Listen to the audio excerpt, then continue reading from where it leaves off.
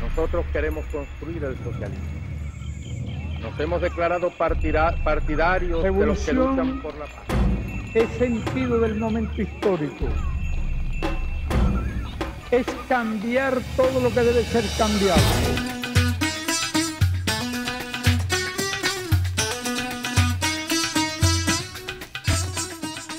Bienvenidos al programa Escuela de Cuadros número 209, donde vamos a estar desarrollando el texto de Alexandra Coyontay, Comunismo y Familia, eh, escrito en 1921. Estaremos acá con nuestro compañero Iñaki Gil de San Vicente, la compañera eh, Cira Pascual, Chris Gilbert y mi persona Tamay Balara. Ahora vamos con el compañero Iñaki Gil que va a desarrollar un poco el contexto histórico en el que eh, escribe este documento. Bueno, el contexto histórico en el que la camarada Colontay escribe este documento es, digamos, un contexto de, transición, es un contexto de evolución eh, de un viejo orden que se resistía a morir, que era el orden eh, patriarcal en la Rusia zarista, con unas incrustaciones burguesas muy fuertes, y luego era un orden nuevo que estaba saliendo con muy poco tiempo, que era un orden socialista, de tal modo que el texto hay que mirarlo. Eh, en ese contexto específico, porque a diferencia de otras sociedades capitalistas más desarrolladas, en Rusia no se había podido o no se ha podido expandir una sociedad burguesa al estilo de la Europa occidental, como podría ser la sociedad burguesa francesa o la británica o la, o la alemana o incluso la norteamericana. Entonces, eh, todo lo relacionado con eh, las relaciones eh, familiares, la función de la familia, el sistema patriarcal, las relaciones eh, paternofiliares, las relaciones eh, sexuales, las relaciones afectivas, en el caso, en el caso de la Rusia de 1921 eh, estaba comprimido por tres, digamos, por tres grandes fuerzas, que sin embargo no existían en otros países, al menos en esa intensidad. Una fuerza que no existía en, en Francia, que no existía en Alemania, en Gran Bretaña, era todavía la resistencia del campesinado en 1900 y de las costumbres campesinas. Eso, eso tenemos que tener en cuenta porque el campesinado en Europa Occidental ya empezó a perder su influencia muchos años antes, alrededor de los 40, de 1840 por esa parte. Y por tanto, todavía en Rusia estaba muy determinada el, sistema patriarcal contra el que se enfrenta eh, y estaba muy determinado por siglos y siglos de patriarcado campesino. Y esto no debemos olvidarlo. La segunda gran diferencia es que eh, no se había desarrollado consiguientemente, porque no había habido una revolución burguesa prolongada en el tiempo, no se habían desarrollado las relaciones sociales afectivas, las relaciones sociales sexuales, las relaciones sociales en general de reproducción de la fuerza de trabajo en toda su complejidad, que sí se estaban desarrollando y llevaban bastante tiempo desarrollándose en las sociedades capitalistas desarrolladas, tanto desarrollo, en las sociedades capitalistas con más tiempo. ¿no? Esto implica que la familia eh, a la que se enfrenta Kollontai es una familia, digamos, eh, con una mezcla muy fuerte de, pasado, de un presente muy limitado, presente en el sentido burgués, y por tanto con unas, con unas problemáticas que están muy a flor de piel, ¿no? porque no se ha sentado, no ha dado tiempo por el desarrollo capitalista, por el desarrollo burgués en Rusia, no ha dado tiempo a que la burguesía asiente unas relaciones sociales de explotación patriarcal, eh, incluso con, la, con los debates sobre el amor libre, sobre un montón de cosas que sin embargo en el feminismo sufragista, en el feminismo obrero, eh, en la cotidianidad de, las sociedades, de las sociedades de Londres, de París, etcétera, sí estaban vigentes todos aquellos comentarios. En Rusia no se llegó a eso porque no hubo una burguesía que tuvo el tiempo suficiente para sentarse. Y el tercer factor es que también hay que tener en cuenta que eh, ese gran atraso, ese, ese, ese gran peso psicológico profundo del sistema campesino, de la propia Iglesia ortodoxa o de las religiones musulmanas, etcétera, eh, con el poquito tiempo de asentamiento de las relaciones sociales burguesas en todo lo referente a la explotación sexoafectiva de la mujer, encima está presionado al máximo, presionado muy fuertemente por la gran crisis que estalla desde el 16 o desde el 15, eh, con, el, estallido de la revolución, que va rompiendo familias enteras que va, y que encima añade un factor, añade un factor que es de un proyecto socialista que emerge con fuerza. ¿no? Entonces, si tenemos en cuenta esos tres factores, esas tres realidades que no se dan en otros, en otros contextos, eh, tenemos que contextualizar muy bien eh, la situación en la cual Alejandra Kollontai escribió esto, ¿no? que precisamente le aporta y le añade da fuerza por eso precisamente. También contextualizando, sería bueno hacer una breve biografía de, de Ella nace en 1872 y muere en el 50 y 1952. Eh, ella fue una gran revolucionaria, fue la, la, primera mujer en la historia, digamos, moderna que ocupó un cargo de gobierno. Eh, dos o tres cuestiones importantes también. Eh, comienza a militar joven en el Partido Socialdemócrata a finales del siglo XIX. Se casó y se divorció, lo cual en aquel momento generaba evidentemente contradicciones con una sociedad que en su caso, bueno, ella venía de, la de una pequeña aristocracia. Estudió, eh, militó joven, se tuvo que exiliar, etc. Tuvo una vida de revolucionaria eh, desde el 15 eh, participó activamente en la lucha contra la guerra y en el 17 bueno, asume, asume un rol importante en el Soviet de Petrogrado. Entonces sería interesante que trabajemos un poquito para contextualizarnos también en cuanto a las propuestas eh, desde la teoría marxista, las propuestas feministas que eh, contextualizamos, contextualicemos un poco, Kolontai no es la única, evidentemente, que hace propuestas en aquel momento, previamente ya eh, bueno, Bebel escribe El socialismo y la mujer, El origen de la familia, la propiedad privada y el Estado de Engels también es un texto importante. En fin, tenemos en el contexto del feminismo una pluralidad, un, acervo en cuanto a la construcción de una teoría feminista de clase. No sé si querrías entrar brevemente en ese acervo que tenemos dentro de la teoría revolucionaria. Sí, en sentido general del socialismo, introduciendo en el socialismo al socialismo utópico, y más uh, Fourier, por ejemplo, o introduciendo también al socialismo anarquista, tenemos, por ejemplo, a Flora Tristan, ¿no? que es una autora que, eh, eh, que, se mueve por debajo de la estructura del manifiesto comunista. ¿no? Eso no está suficientemente reivindicado. ¿no? Y, por ejemplo, el manifiesto comunista tiene unos análisis para su época brillantes sobre la familia y sobre otras muchas cosas, sobre las relaciones sexuales, sobre el adulterio, sobre la prostitución tiene una crítica demoledora, ¿no? Eso por un lado, ¿no? Eh, luego, otro dato, por ejemplo, que no tenemos en cuenta, el texto de Engels de, la situación de la clase obrera en Inglaterra de 1845, ¿no? Que es una crítica feroz, posiblemente eh, la mejor que todavía se haya hecho desde un punto de vista eh, teniendo en cuenta lo poquito que estaba desarrollada la metodología que ahora llaman sociológica, ¿no? Y que desde luego ninguna obra sociológica burguesa ha conseguido superar, ¿no? Y podríamos seguir poniendo ejemplos y luego, claro, ya tenemos luego posteriormente el problema, el problema de la explotación de la mujer en general que aletea toda la obra en el sentido de la producción y reproducción de la fuerza de trabajo.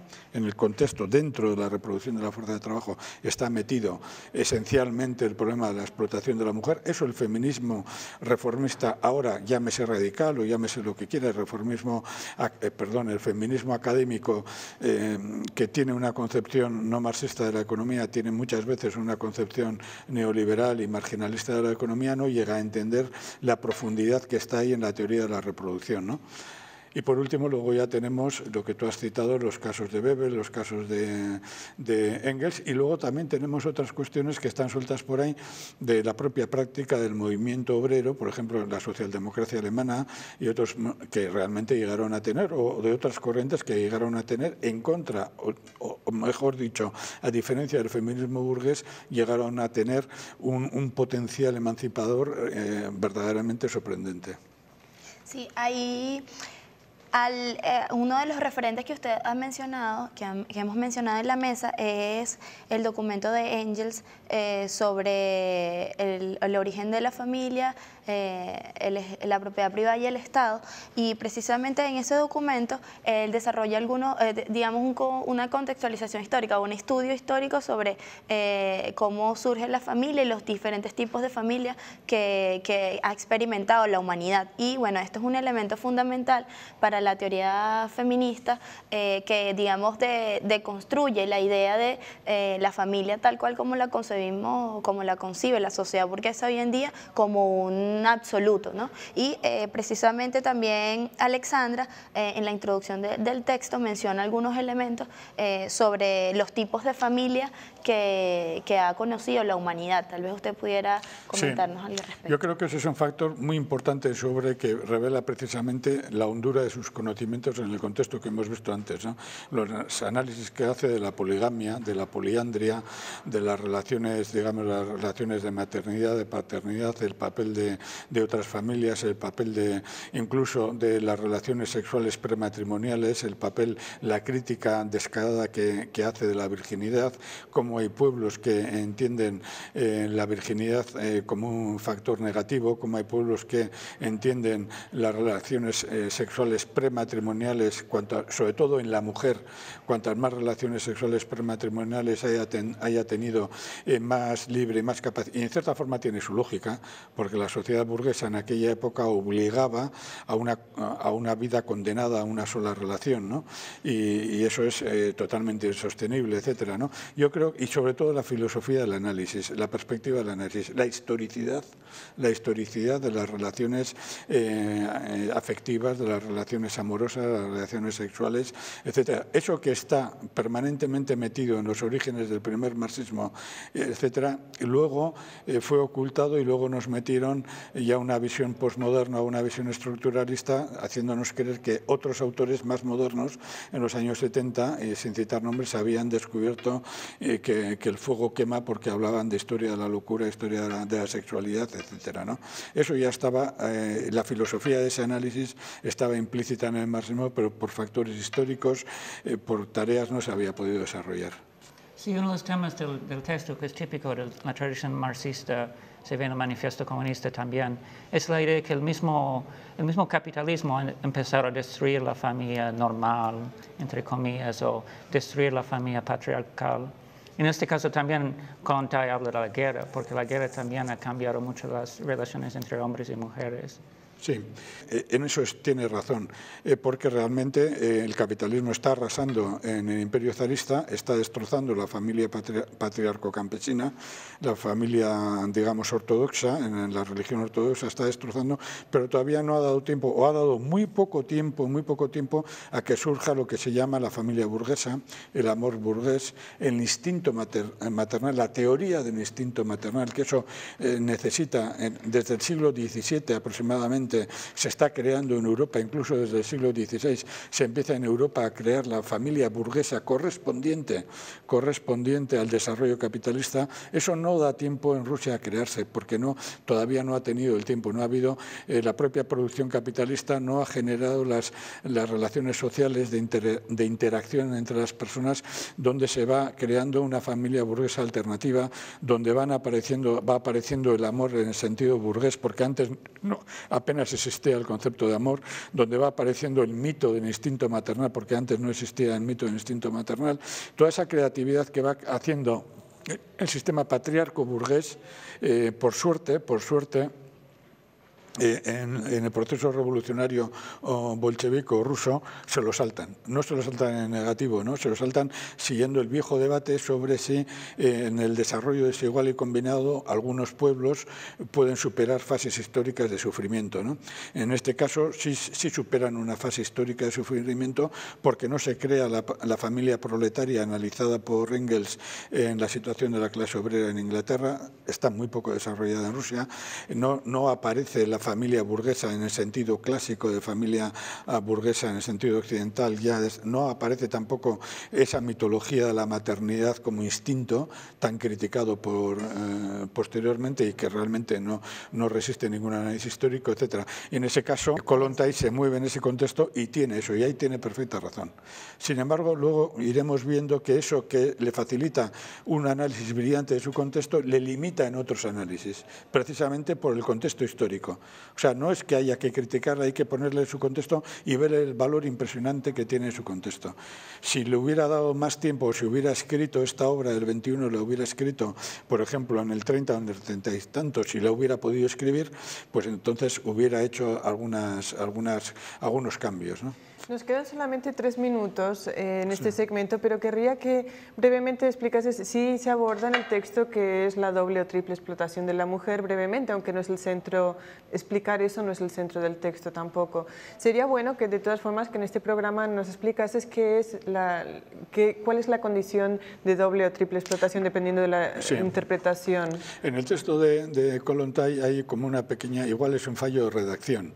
Eh, un capitulito suyo empieza por la doble explotación de la mujer, pero luego en el interior del capítulo habla de triple explotación puede ser un error a la hora de escribir. ¿no? Sí, más bien la pregunta es qué es la, triple explotación. A eso me refería. Entonces, eso implica, implica dos cuestiones, básicamente. ¿no? Una, eh, que el sistema condena a la mujer a reproducir la fuerza de trabajo mediante el trabajo doméstico, y ella lo denuncia brillantemente, mientras, y a la vez para reproducir las condiciones psicológicas de crear una familia, eh, una familia en el sistema capitalista, una familia dócil, crear fuerza de trabajo dócil, obediente, eh, sumisa.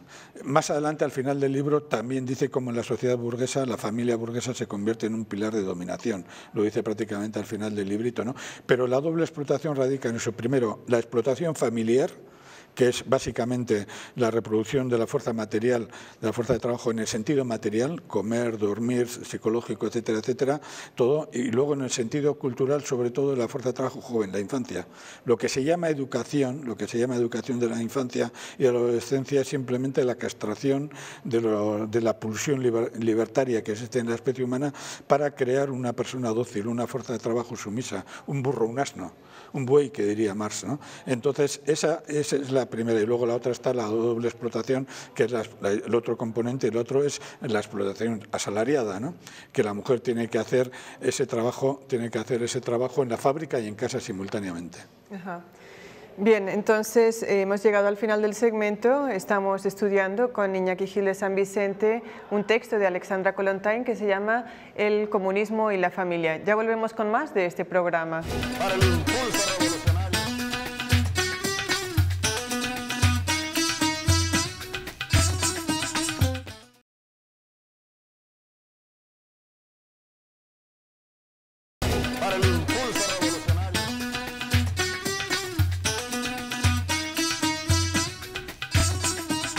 De vuelta con Escuela de Cuadros, estudiando el comunismo y la familia a partir de un texto de Alexandra Kolontain con Iñaki Gil de San Vicente. En el momento en el que Kolontai escribe este texto, en 1921, después de la Revolución de Octubre, se han dado grandes avances para la mujer, eh, ha habido grandes conquistas, eh, el divorcio, el, o sea, el derecho a terminar con un matrimonio, el aborto, etcétera, etcétera.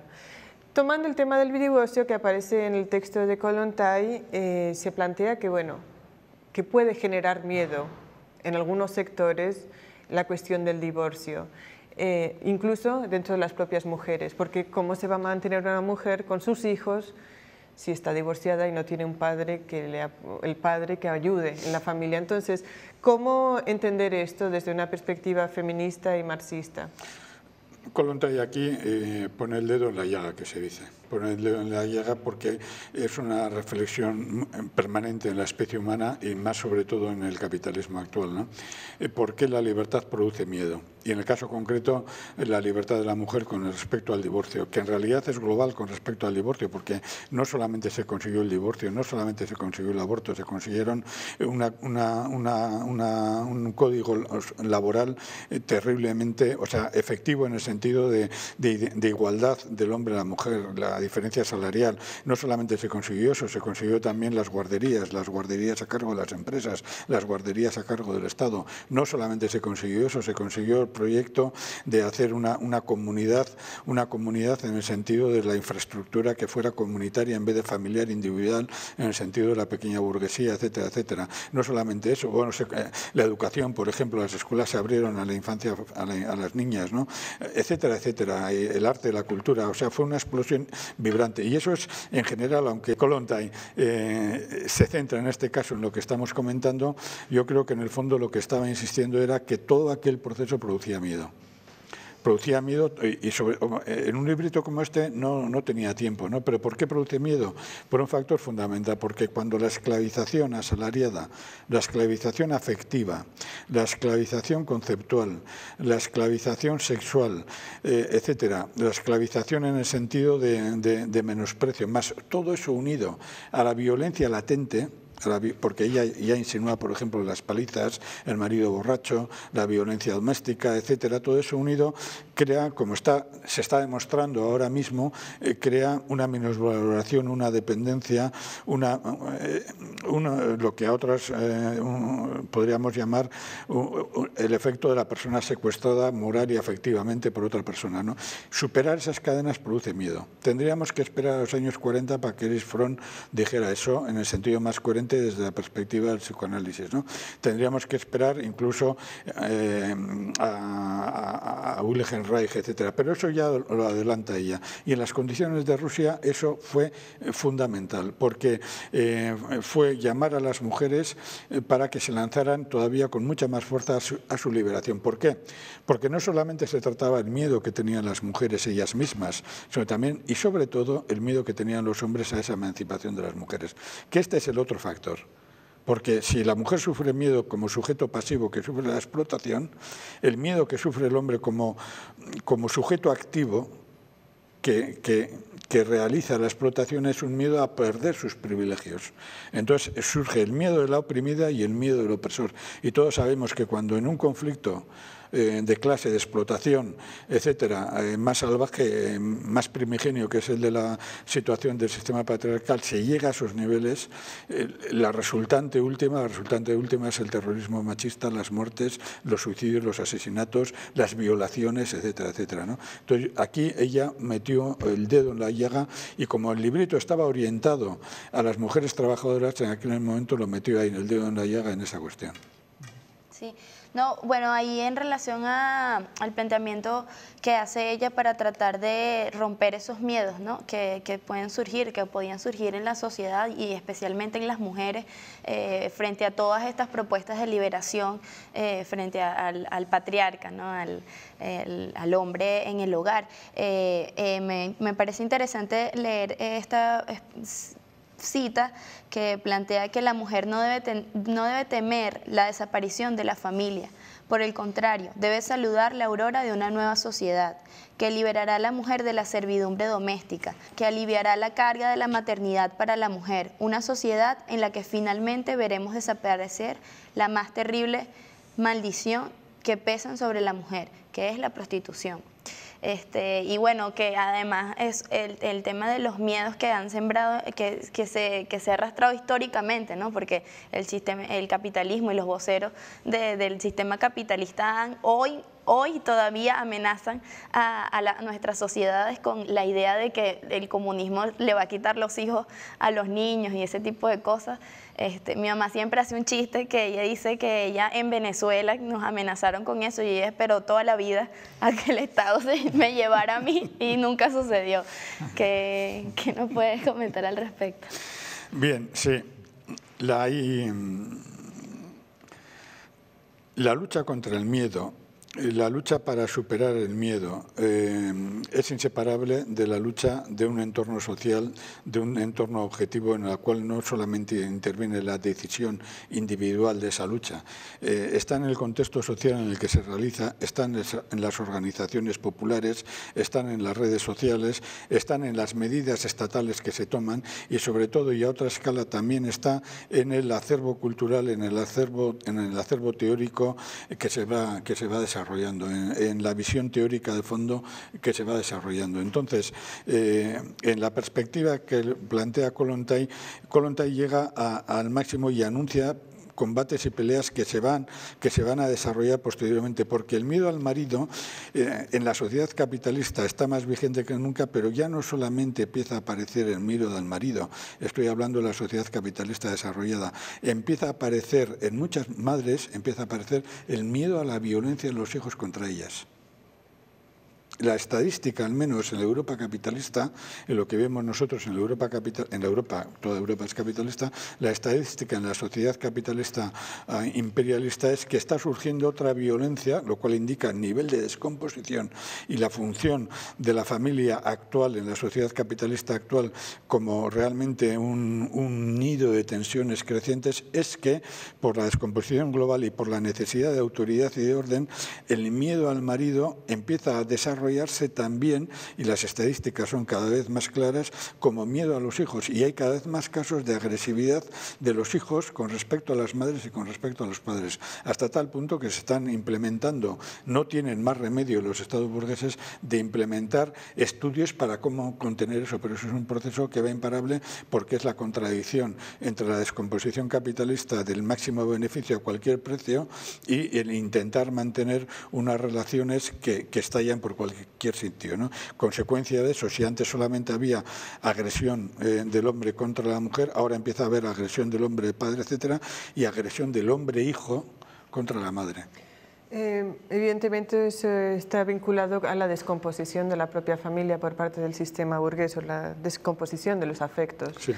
Eh, Alexandra Kolontai fue comisaria del pueblo, comisaria en lo social del pueblo ruso en la revolución, es nombrada comisaria, o sea, sería como ministra. Y ella precisamente participó en los programas para desarrollar, eh, digamos, el espacio para la emancipación de la mujer. Todas formas, eh, en el texto hay algunos elementos algo peculiares, reivindicando el texto y reivindicando todos los esfuerzos y todos los avances en la Unión Soviética al principio, digamos, los primeros años después de la Revolución de Octubre, todos esos jardines de infancia, los comedores, eh, lugares de crianza, etcétera, etcétera, eh, en los que Kolontai, vuelvo a repetir, participó directamente. Hay un elemento peculiar en el texto de Kolontai. Ella propone que para que se dé la emancipación total de la mujer debe haber un grupo de mujeres que se encarga de las tareas de la casa. O sea, las tareas de la casa de la mujer proletaria las hace, o de, la familia proletaria, de la familia trabajadora, las realiza otra mujer. Evidentemente hay un problema. Eh, si pudiésemos trabajar un poquito ese tema. Sí. Eh, yo creo que ahí lo que sale a colación es el problema del contexto y el problema que nosotros lo vemos con 100 años, de, con un siglo de posteridad, con todo lo que ha avanzado la crítica feminista desde un punto de vista revolucionario. Insisto siempre en esto, hay que diferenciar el feminismo burgués o, reformista del feminismo revolucionario todo lo que ha avanzado de eso. Entonces, eh, lo, que, lo que se aprecia en este texto en concreto es la dependencia, no solamente suya, ¿eh? Podríamos profundizar en, otro, en otras autoras, e incluso peor, en otros autores. ¿no? Eh, la dependencia de su época con respecto al campo, al, al, universo conceptual, al universo interpretativo, lo que en una palabrota sería eh, la determinación ontológica del debate, ¿no? la definición del ser. ¿no? El ser es el masculino, ¿no? y con las atribuciones, con las atribuciones que el ser masculino da a la mujer. ¿no? Entonces, todos los trabajos eh, Em, que entonces se realizaban en la casa individual, en la casa individual, esos trabajos de reproducción que hemos comentado, la doble tarea, quitando la tarea asalariada, la tarea interna, la reproducción de la fuerza física de trabajo y la reproducción de la fuerza cultural o moral del trabajo, eso corresponde a la mujer. Eso entra en el cuadro, en el cuadro creado durante miles de años de la visión ontológica de la realidad y, por tanto, de, su definición de pensamiento, de normativización, de definición, etcétera. Ese es un atributo que cae de suyo a la mujer. Que, que, que, plantea que, de suyo está ahí dado. ¿no? Entonces es el límite de una sociedad que estaba ahí, que había llegado hasta ese límite, porque todavía no había conseguido ir un poquito más allá, o mucho más allá, como, aunque sea en el plano de la reflexión, como, se ha planteado, como lo estamos planteando ahora. Por ejemplo, por poner un caso muy reciente, ahora el caso de las sexualidades trans, ¿no? o de los límites, o de la polisexualidad, o la relación entre sexo y género, ¿no? u otras muchas más cosas que, que espero que nos dé tiempo a comentar después. ¿no? Desde esa perspectiva, en su, ahora nos sorprende eso, ¿no? pero en el contexto de la obra. ¿no? Ahora bien, el peligro de todo eso radica en que si leemos la obra ahora sin contextualizar y sin ver los avances que se ha tenido, eh, reproducimos eh, mecánicamente esa limitación en el entorno actual. Y esa limitación en el entorno actual es una limitación reaccionaria, porque incluso sectores de la burguesía, incluso sectores reaccionarios, la pueden admitir en el capitalismo actual, no en el de entonces, ¿no? Menos en el socialismo de entonces. ¿no? Entonces, claro, siempre eh, tenemos que ver esas dos cuestiones, la contextualización y el límite, el límite de pensamiento, de definición de la realidad y hasta dónde se podía superar o no. Eh, apreciando eso, ella siempre se mueve desbordando un poquito, porque tiende a desbordarlo tiende a desbordarlo. Por ejemplo, ya insisto, al final hay una denuncia de la familia burguesa como una estructura vital para mantener eh, la estructura capitalista, etcétera, etcétera. Luego hay otro problema también relacionado con esto, ¿no? y que es más que todo también la confusión que se vivía en aquellos tiempos, eh, y no solamente en la, Rusia, en la Rusia soviética, sino también en todo el movimiento revolucionario, y que es la definición de comunismo. ¿no? La definición de comunismo. Hay como una especie de, ambivalencia o de confusión de términos cuando habla de Estado comunista y de sociedad comunista. ¿no? Generalmente utiliza el concepto de Estado comunista y sociedad comunista muy poco. ¿no? Eh, desde una interpretación que ya entonces eh, estaba establecida, la sociedad comunista no tiene Estado. Se puede utilizar el término de Estado, de Estado comunista como un objetivo al que tú vas y, por tanto, en el camino, en el avance, en el proceso de avance hacia una sociedad comunista, tú desarrollas un Estado socialista, un Estado comunista de la sociedad actual y de un futuro previsible. Pero esa confusión, esa confusión está en el entorno suyo y lo que tenemos que hacer es aplicarla y contextualizarla y salvarla en el momento presente y explicarla en el momento presente. Quizás lo que hay es una unión de términos de, socialismo y de comunismo, pero bueno, no, no, entraremos ahorita en el debate ya que vamos a un corte. Yo quería mencionar también que las imágenes que están pasando en la pantalla son imágenes de Alexandra Kollontai, también imágenes de la marcha del 8 de eh, del 8 de marzo de 1917 que inicia de alguna forma, bueno, que inicia definitivamente esa marcha de mujeres, eh, esa marcha inicia las revoluciones del 17 en, en, Rusia y también estamos viendo eh, afiches, pósters de, la revolución de octubre y relacionados con el feminismo en, en la revolución soviética. Estamos en Escuela de Cuadros, ya volvemos con más de este programa para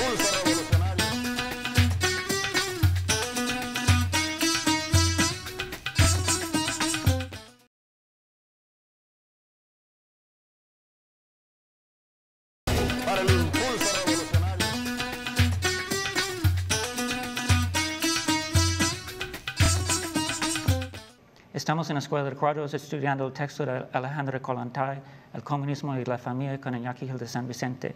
Terminamos la última sección hablando de una suerte de fetichismo del Estado que existe en Alejandro Kollontai. Y creo que más allá de eso, también hay una suerte de actitud, como una actitud poco crítica frente a la modernidad que existe tanto en Kollontai como en Lenin. ¿No? en esta cuestión.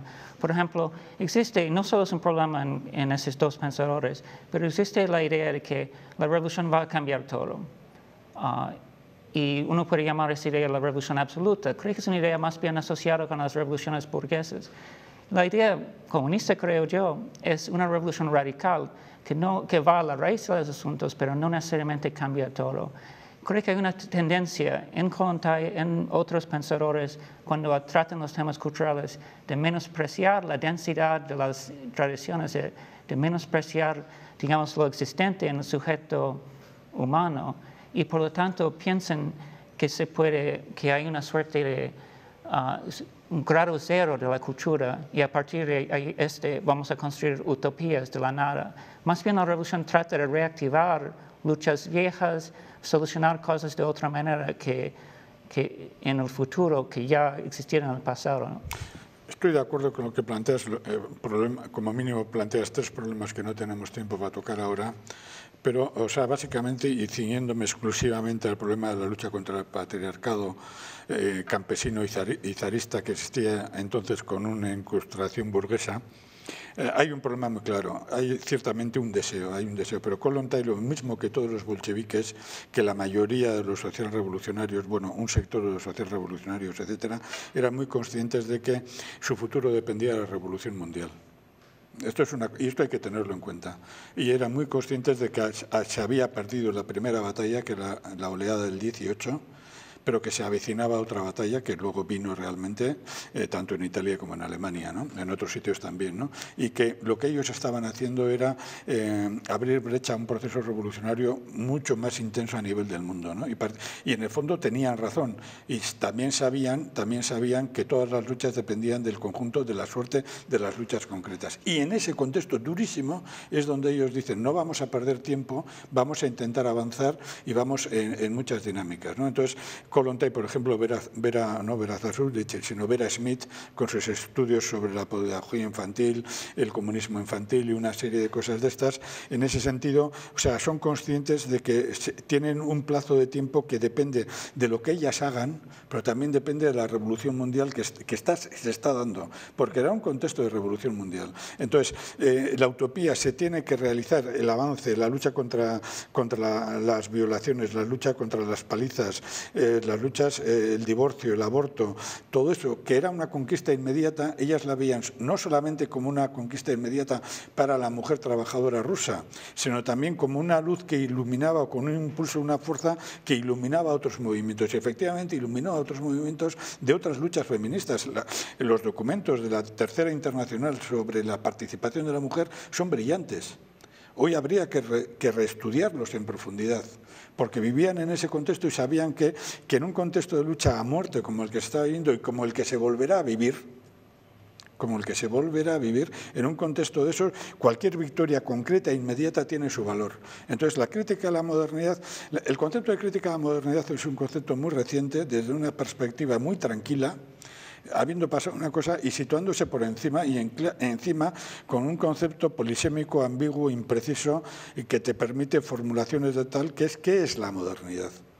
Hay muchos teóricos marxistas que hablan, pero lo que se trata es la crítica de la plusvalía y la crítica del valor. Y ellos sí realizan la crítica del valor. Por ejemplo, Rubín sí realizan la crítica del valor. Y eso nos lleva a la crítica de la reproducción de la fuerza de trabajo y nos lleva a la crítica del patriarcado.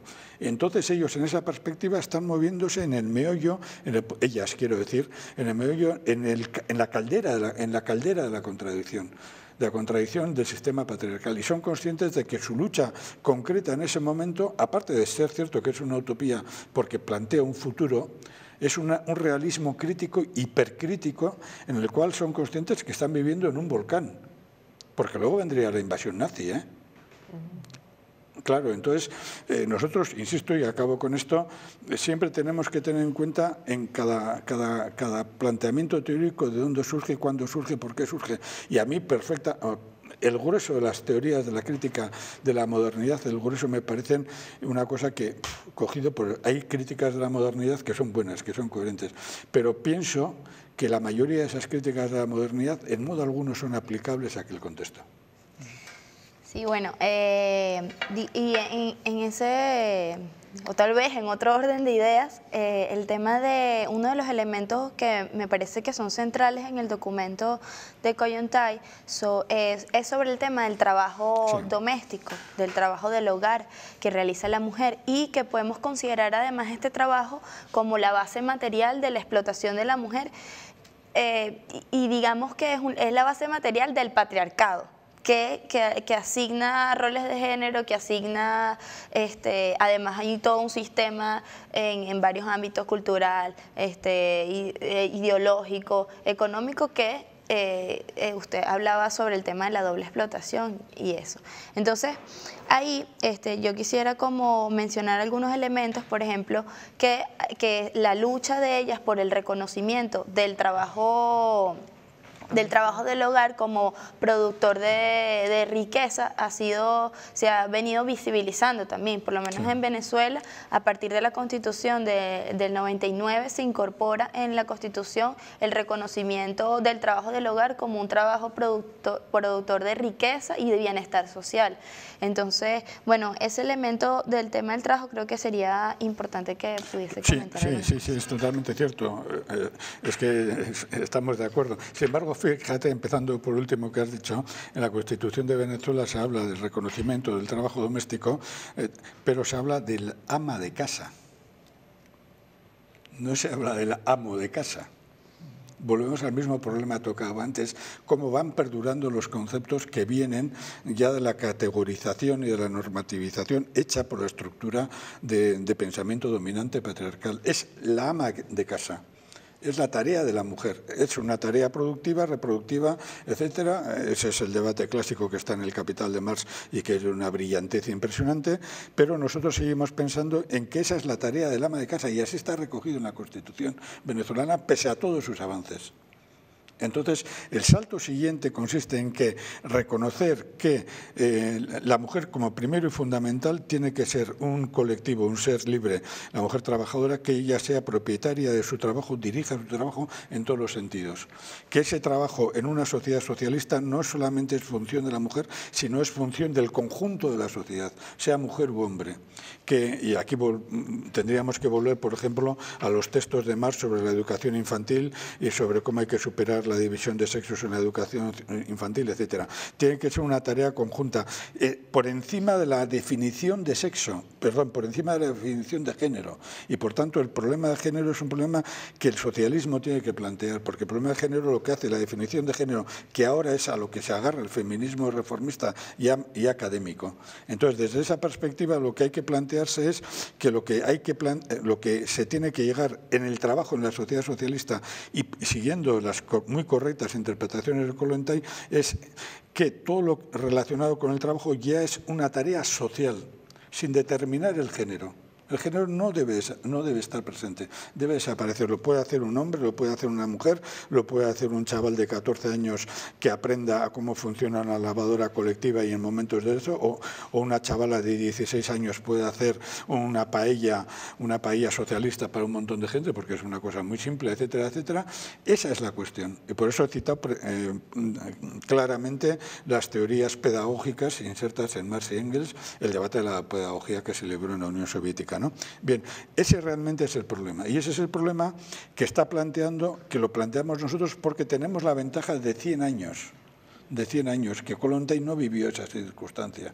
Entonces, eh, en, su caso, ella tiene toda la razón de eso, pero nosotros, insisto lo que he comentado antes, lo que tenemos que decir es, esto es muy bueno, lo que tenemos que añadir es, en 100 años después, todos los avances críticos que se han planteado con respecto al transgénero, a transexualidad, a otras formas de, a otras afectividades, por poner un caso, a un montón de relaciones de esas que hoy emergen porque la explotación capitalista es poliédrica, es global, tiene 100.000 expresiones prácticamente inconmensurables, es, eh, todas ellas vertebradas eh, en la extracción de plusvalía, 100.000 expresiones, eso está planteando una realidad a la que ellos no se enfrentaron en la que sí se enfrentó en su realidad y la responde muy bien.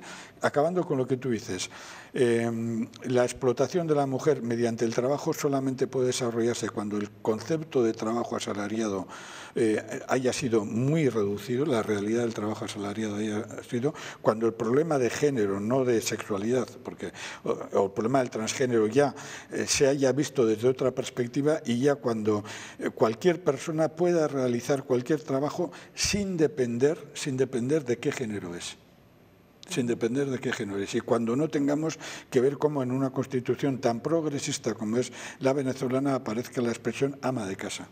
Simplemente cuando es una tarea social llevada democráticamente, decidida democráticamente por la comuna o por quien, o por quien sea, ¿no? partiendo de la corrección del término, de la interpretación que, hace. Ajá.